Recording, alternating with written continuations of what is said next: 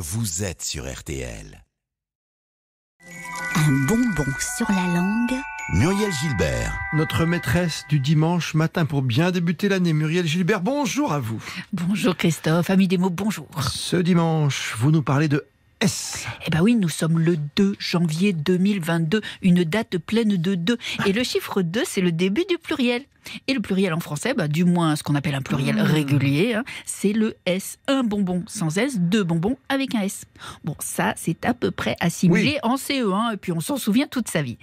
Mais le S, info cruciale pour les amateurs de Scrabble comme moi, est la deuxième lettre la plus utilisée en français, juste après le E, figurez-vous. Bref, ce serait trop simple si le S n'avait que cette fonction de pluriel. Et d'ailleurs, Jérôme sur langue.rtl.fr me demande pourquoi diable il faut un S à volontiers, par exemple. Ah oui, parce que volontiers, c'est pas un pluriel. Eh ben non, volontiers, c'est un adverbe, donc invariable. Or, quantité d'adverbes prennent ainsi un S final, qui effectivement ne représente pas un pluriel. C'est le cas de certes, de plus, de moins, par exemple, dont le S vient de leur origine latine. Certes vient de certas, certainement. Plus et moins viennent de plus et minus, qui ont le même sens que. Alors du coup, à l'époque médiévale, ben, on s'est mis à ajouter des S à des adverbes dont l'étymologie ne le justifiait pas. Et c'est le cas notamment de alors, de tandis et de volontiers qui, comme on le devine bien, bah, fait partie de la famille de la volonté. Quand on fait quelque chose volontiers, Volontiers, c'est avec toute la bonne volonté du monde. Et il y a plein d'autres mots qui se terminent euh, par un S au singulier, non? Mais oui, Oui, c'est vrai. oui. Vous vous souvenez, à l'école, on apprenait que toujours prend toujours un S. Hein? Mais d'ailleurs, jamais prend toujours un S aussi. Voilà. Alors, mais là, on est encore dans la catégorie des adverbes. Passons au nom. Le français, il prend toujours un S. Le cours, le concours, la brebis, la souris, le paradis.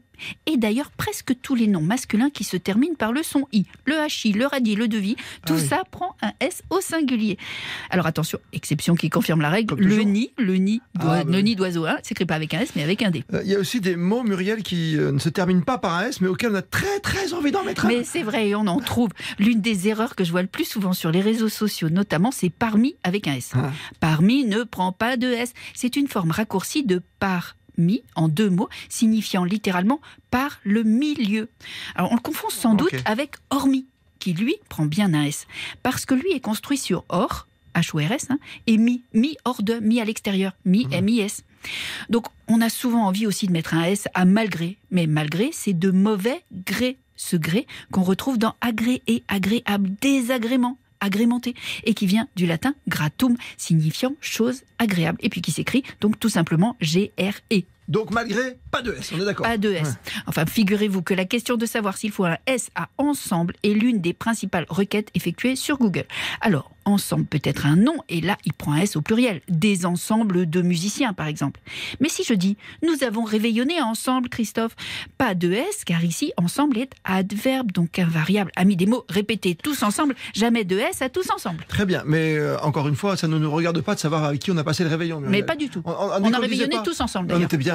On était bien. Comme cette chronique était parfaite et qu'on retrouve sans modération sur RTL.fr.